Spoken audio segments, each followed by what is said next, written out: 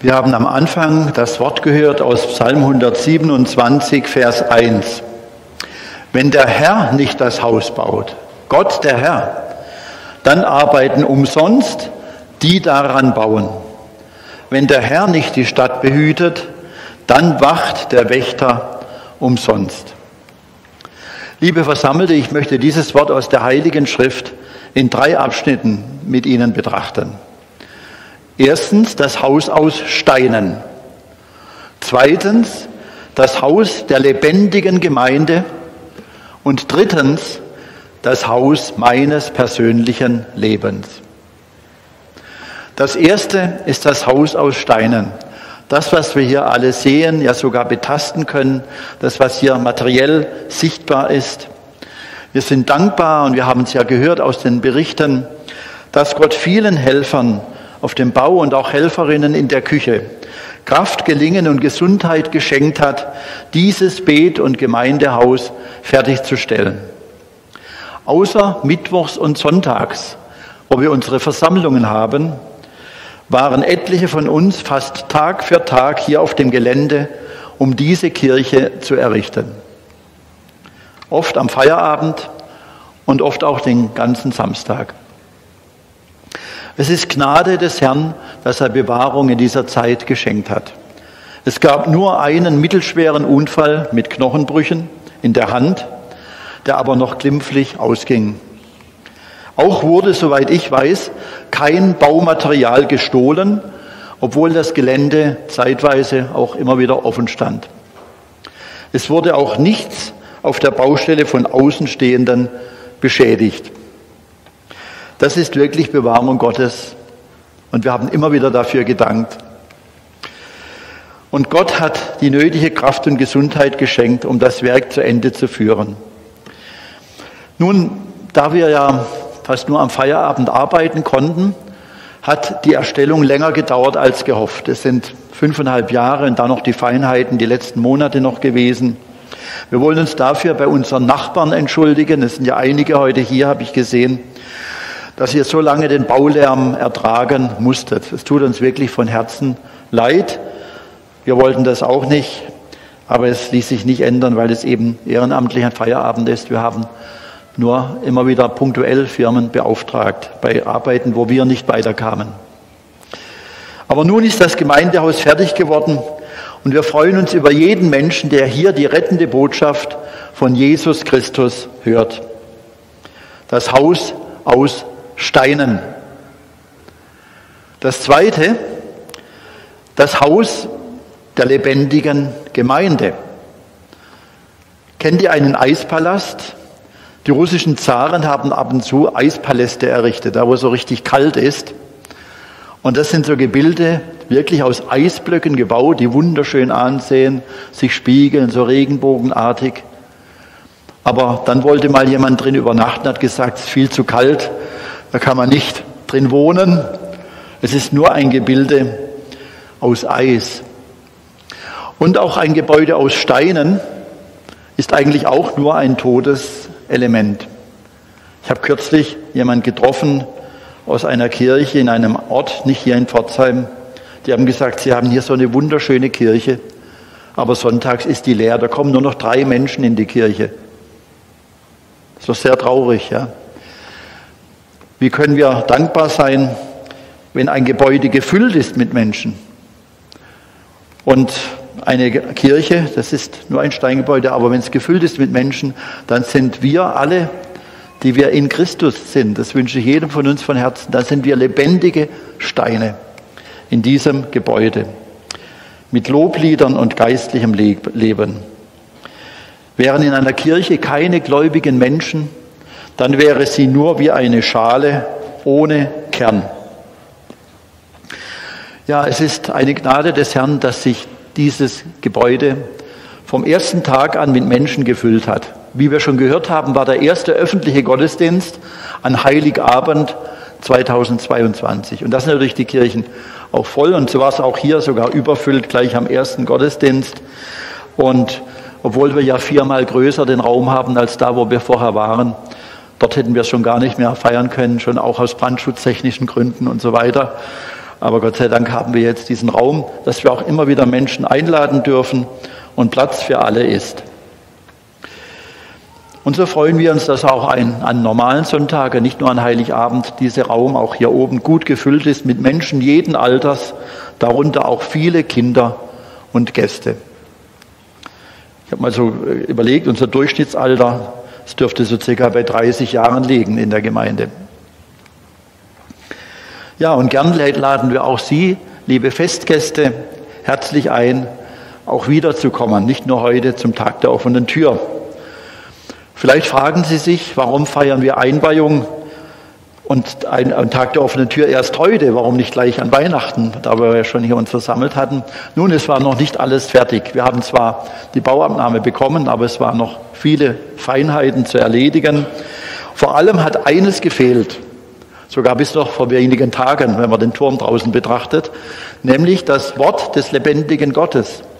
Jetzt stehen Bibelworte am Gebäude unten, wenn ihr reinlauft, im Foyer, außen auf dem Turm und auch hier im Saal. Und darauf möchte ich im dritten Teil, im entscheidenden Teil dieser Botschaft eingehen. Das erste war ja das Haus, der Lebend, der, der, das Haus aus Steinen, das zweite das Haus der lebendigen Steine, der lebendigen Gemeinde und das dritte, der dritte Punkt ist das Haus deines und meines persönlichen Lebens. Dein oder soll ich sagen ihr Lebenshaus. Ja, wir sind ja nicht so unpersönlich, ich darf gerne auch du sagen, wir sind hier unter uns, Freunde, Nachbarn, Geschwister. Und so kann man am Turm draußen lesen, erst seit wenigen Tagen. Wer hat es denn schon gesehen? Darf ich mal fragen am Turm, was da steht? Es ist ziemlich oben, man muss schon mal hochgucken. Ganz oben steht, kurz unter der Spitze, wo vielleicht irgendwann mal Glocken reinkommen, vielleicht in der nächsten Generation. Ja, aber da steht jetzt schon, es ist Zeit, den Herrn zu suchen. Das ist ein Vers aus dem Propheten Hosea, Kapitel 10, Vers 12. Und daneben, wenn Sie nachher schauen, sehen Sie eine Uhr, auf der ist es 5 vor 12 oder sogar 3 vor 12, wenn man genau hinschaut. Sogar in der Welt reden inzwischen viele Menschen, ich will hier jetzt kein politisches Fass aufmachen, aber reden viele von der letzten Generation, habt ihr vielleicht auch schon gehört. Wenn auch mit anderem Inhalt, als wir Christen das tun. Viele sind in Zukunftspanik, wie wird es in dieser Welt weitergehen. Das wird auch das Thema sein im, am Sonntag in einer Woche bei unserem Freiluftgottesdienst im Ensauenpark, wozu wir auch an dieser Stelle schon gern einladen um 10.30 Uhr. Den Sonntag in einer Woche im Ensauenpark. Wohin gehen wir? Wohin geht diese Welt? Nun, es ist in der Tat so, so viel möchte ich heute schon sagen, dass wir nicht wissen, wie lange wir noch, wir ganz persönlich, jeder von uns, auf der Erde noch leben, wie viel Zeit Gott uns noch schenkt. Es ist immer Zeit, den Herrn zu suchen. Wir wissen nie, wann unser letzter Tag ist. Ein lieber Bruder kann nicht hier sein aus unserer Gemeinde. Der hat noch, was vor einer Woche, ja, hier die Leitung gemacht und am Montag früh, als er zur Arbeit fuhr, hatte er einen schweren Fahrradunfall. So schwer, dass er stundenlang operiert werden musste. Eine Rippe ist in die Lungen, in den einen Lungenflügel hineingefahren, sodass dieser Lungenflügel zusammengebrochen ist. Wäre es in das Herz gefahren, bei diesem Unfall innerhalb von Sekunden, wäre er in der Ewigkeit gewesen. Am Sonntag noch hier gestanden, Montag, dieser schwere Unfall. Ich will uns keine Angst machen, aber diese Entscheidung für Gott, die sollten wir wirklich nicht auf die lange Bank schieben. Es ist Zeit für jeden Menschen, den Herrn zu suchen und keine Ausreden zu suchen. Ach, ich habe noch lange Zeit. Das weiß keiner von uns. Und ich sage immer, Christen sind die größten Realisten, denn wir wissen, auf dieser Erde haben wir keine bleibende Stätte. Schiebe die Entscheidung für Gott nicht auf die lange Bank. Hier innen im Saal haben wir auf der linken Seite von euch gesehen den Bibelvers, Jesus Christus spricht, siehe, ich komme bald. Dieser Satz stammt aus dem Buch Offenbarung an Johannes, das letzte Buch der Bibel, Kapitel 22, Vers 7, ganz am Ende der Bibel, leicht zu finden. Was heißt das? Jesus sagt, er kommt bald, er kommt überraschend, er kommt schnell, dann, wenn wir es nicht erwarten. Und auch da wollen und dürfen und sollten wir alle Zeit bereit sein, dem Herrn zu begegnen. Dass wir zur Hochzeit des Lammes, von der die Bibel redet, kommen dürfen, gereinigt durch das Blut Jesu Christi. Wir haben es wunderbar gehört, auch in diesem Anspiel unserer Jugend, ähm, dass wir nur dann in den Himmel kommen können, wenn all unsere Schuld, all unsere Sünden vergeben sind durch das heilige und reine Blut unseres Herrn Jesus Christus. Daran gedenken wir immer wieder beim Abendmahl. Und das dürfen wir aber auch in unserem Leben erfahren. Ja, ich muss kein schlechtes Gewissen mehr haben. Ich darf alles was ich falsch gemacht habe im Leben, auf Gott legen. Jesus am Kreuz auf Golgatha hat es getragen. Alle Schuld ist weggetan und durch die Auferstehung von den Toten schenkt der Herr mir ewiges Leben, wenn ich dieses Geschenk im Glauben annehme. Das heißt, wenn ich auf ihn vertraue, im Glauben ihn mein Herz schenke. Wie sieht es in Ihrem und meinem persönlichen Leben aus? Sind wir bereit, Gott zu begegnen? Haben wir schon Vergebung unserer Schuld und Sünden erfahren. Jesus Christus lädt alle Menschen ein, wir haben das auch schon gehört, von neuem geboren zu werden. Nun darf man das nicht falsch verstehen. Wir meinen damit nicht Seelenwanderung oder Reinkarnation, dass man wieder auf die Erde kommt im, im Fleisch, also als im Leib, wie fernöstliche Religionen das glauben, sondern als Christen verstehen wir unter Neugeburt, was im Johannesevangelium Kapitel 3 steht, wo Jesus zu dem Schriftgelehrten Nikodemus sagt, ihr müsst von neuem geboren werden, durch Wasser und Geist, durch den Geist Gottes. Die geistliche Neugeburt erfährt ein Mensch, wenn er betet, Herr Jesus Christus, komme du in mein Herz, wasche mich rein durch dein Blut, schenke mir neues Leben und hilf mir, dir treu nachzufolgen. Nimm alles weg, was nicht von dir ist, was nicht mit deinem heiligen Willen übereinstimmt, alle Sünde und Schuld, alle bösen Gedanken, Worte und Taten und schenk mir ein neues Herz, das nur du uns geben kannst. Vielleicht habt ihr auch als Kinder schon gebetet, ich bin klein, mein Herz mach rein, soll niemand drin wohnen als Jesus allein. Das hat meine Oma immer mit mir gebetet und es ist bei mir wahr geworden. Mit 18 Jahren habe ich mein Herz wirklich Jesus Christus ganz bewusst geschenkt, habe neues Leben bekommen und seither, jetzt bin ich 64 Jahre alt, seither lebe ich mit dem Herrn durch Höhen und Tiefen, hat er mich durchgetragen und viele, die hier sind, können das auch bezeugen. Schön, wenn wir nachher noch ins Gespräch kommen, auch über Glaubensfragen, nicht nur über die Totensteine des Baus, die sind auch wichtig, dass wir eine Hülle haben, wenn es wieder kalt wird hier, aber das Wichtigste ist, dass in deinem Herzen Ordnung ist, dass du gereinigt bist durch Gott, dass dir alle Schuld und Sünde vergeben ist, dass wir ein sinnvolles Leben haben dürfen und wissen, wenn ich heute hier die Augen zumache, dann wache ich bei Jesus Christus auf und darf ihn schauen, den heiligen Gott von Angesicht zu Angesicht. Und so steht auch hier, der letzte Vers, den ich jetzt mit uns betrachte, auf der anderen Seite dieses Saals, lasst euch versöhnen mit Gott. 2. Korinther 5, Vers 20. Das ist die Einladung auch heute an jeden, der das noch nicht erlebt hat, die Versöhnung mit Gott. Vielleicht läufst du noch vor Gott davon, aber Gott ruft, so steht es im Buch Hiob zweimal, vielleicht dreimal, komm zu mir, ich liebe dich, ich möchte dich einladen, damit du ein ganz erneuerter Mensch wirst mit einem erneuerten Herzen, dass du weißt, wozu du überhaupt auf der Erde bist. Nämlich der Sinn des Lebens heißt, ich weiß, ich bin von Gott geschaffen, ich diene ihm hier und ich werde einmal bei ihm sein. Der Mensch ohne Gott, der weiß das nicht, der muss versuchen, sich irgendwie äh, künstlich das Leben zu verlängern, was auch immer, aber das funktioniert nicht. Allein im Herrn bekommen wir einen herrlichen Auferstehungsleib, wo kein Leid, keine Krankheit, keine Schmerzen mehr sein werden. Möchtest du das auch haben? Dann folge diesem Ruf, lasset euch versöhnen mit Gott. Ich möchte mit zwei kurzen Geschichten diese kurze Botschaft abschließen. Zunächst auf der Strecke, auf der Bahnstrecke von Stettin nach Berlin. Ich habe es nachgeguckt, da gibt es tatsächlich drei Bahnhöfe mit ganz originellen Namen. Wisst ihr, wie diese drei Bahnhöfe heißen? Es gibt noch mehr, aber diese drei haben ganz originelle Namen. Der eine heißt Herzsprung, der andere Röntgental und der dritte Bahnhof heißt Gesundbrunnen.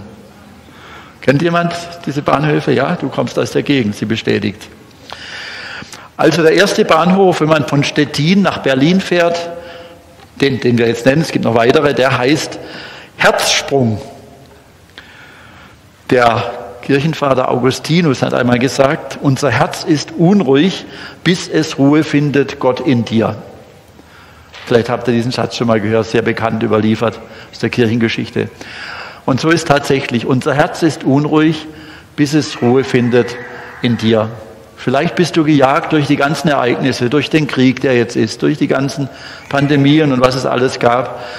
Aber ich habe erlebt in dieser Zeit, ich bin völlig geborgen im Herrn, auch wenn man rechts und links nicht mehr viel machen konnte und Sorgen hat, aber der Blick nach oben, den kann uns keiner nehmen. So kommt Ruhe in unser Herz. Durch Gott, durch Jesus Christus. Herzsprung. Das nächste ist der Ort Röntgental. Röntgental. Nun, dort werden wir durchleuchtet, erkennen unser von Natur aus unreines Herz. Die Bibel spricht hier von Sünde. Und wir merken, dass wir Reinigung brauchen, dass wir Erlösung brauchen, Versöhnung mit Gott. Röntgental. Lass dein Herz durchleuchten von Gott, dann siehst du, es ist nicht alles in Ordnung, gerade wenn man sich so selber für gut hält. Aber irgendwie, wenn man ehrlich ist, denkt man, ja, ich habe auch doch schon viel falsch gemacht, gelogen, falsche Gedanken gehabt und was auch immer. Und dann gibt es aber den dritten Bahnhof, Gesundbrunnen. Das ist da, wo die Quelle des Heils fließt. Wenn unser Herz vor Gott offenbar wird, wenn es durchleuchtet wird und wir dann zu Jesus Christus kommen, ist er für uns wie ein Gesundbrunnen. Ich habe gerade eine Wanderwoche, Bibelwoche gehalten in Bad Tainach, ein Badeort, wo viele Brunnen sind. Einige sind auch hier von unserer Wanderwoche. Ich freue mich sehr, dass ihr auch gekommen seid. Und ähm, da haben wir wirklich viele Brunnen gesehen. Und der wirkliche Brunnen des Lebens, das Wasser des Lebens, das ist unser Herr Jesus Christus. Er allein kann unsere unser Leben ganz gesund und heil machen. Ich verstehe das jetzt als geistliche Heilung. Er kann auch körperlich heilen, ist nicht unmöglich bei Gott. Aber vor allem diese geistliche Heilung der Sündenkrankheit, das ist das Wichtigste. Und das geschieht allein durch Jesu Blut. Weil Jesus der einzig heilige und reine Mensch war, der über die Erde gewandelt ist und der doch zugleich der Sohn Gottes ist. Nur deshalb hat er die Kraft, diese Reinheit, die er allein hatte, uns zu schenken. Und er lebt ja in Ewigkeit, sitzt zur Rechten Gottes des Vaters. Und von dort wird er kommen, zu richten die Lebenden und die Toten, wie wir auch im Glaubensbekenntnis immer wieder beten.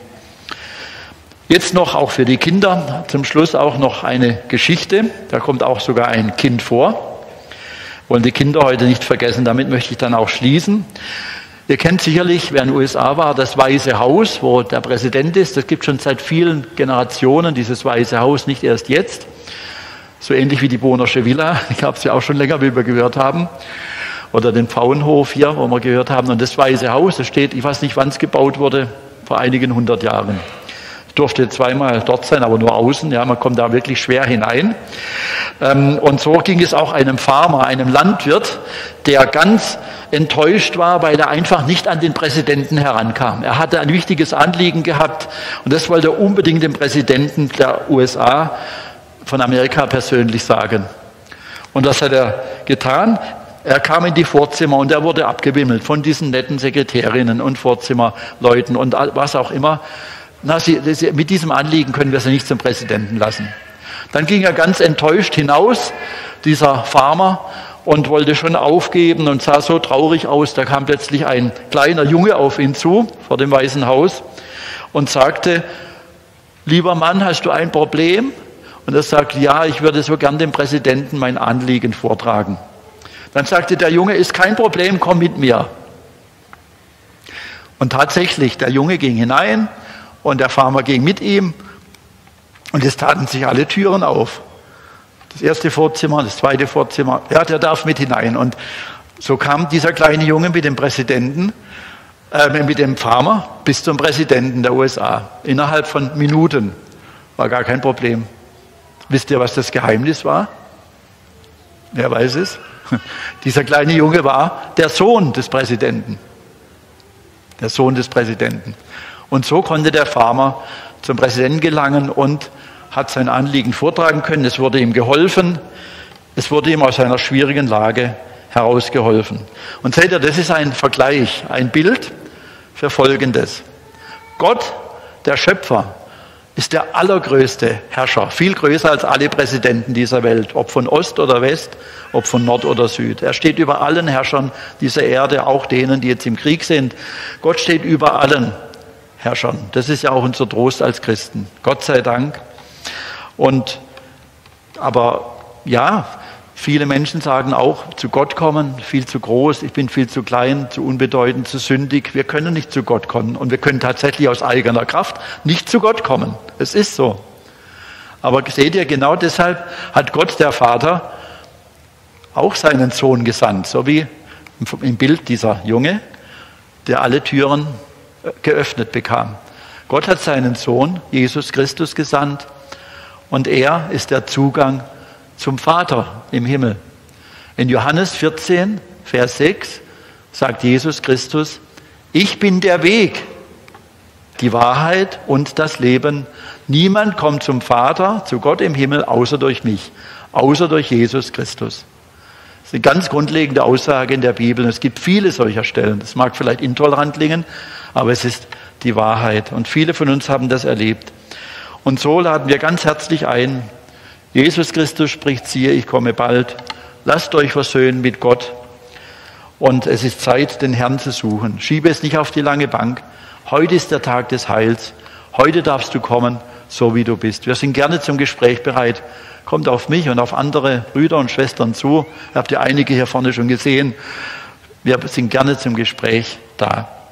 Ich möchte jetzt bitten, dass wir uns erheben zum Gebet. Allmächtiger, heiliger Gott und Vater, wir danken dir, dass du deinen Sohn Jesus Christus gesandt hast, der uns am Kreuz von Golgatha durch sein heiliges Blut alle Schuld und Sünde vergibt, sodass wir Zugang haben zu deinem Himmelreich, allmächtiger Gott. Dafür loben und preisen wir dich. Danke, dass viele dieses gereinigte Leben schon haben dürfen. Schenk doch uns allen auch, dass wir uns einmal bei dir wiedersehen, dass wir dieses Geschenk annehmen, bei dir zu sein. Wir loben und preisen deinen heiligen Namen. Amen. Bitte nehmt Platz. Wir sind jetzt bald am Ende des Gottesdienstes, aber vielleicht am Anfang des neuen Lebens mit dem Herrn. Das ist das Wunderbare. Und so möchten wir jetzt nochmal ein Lied des Jugendchors hören. Und dann werde ich noch mitteilen, wie es heute weitergeht. Da sind wir bestimmt alle gespannt. Also ist der Jugendchor und dann die Bekanntmachungen und der Segen.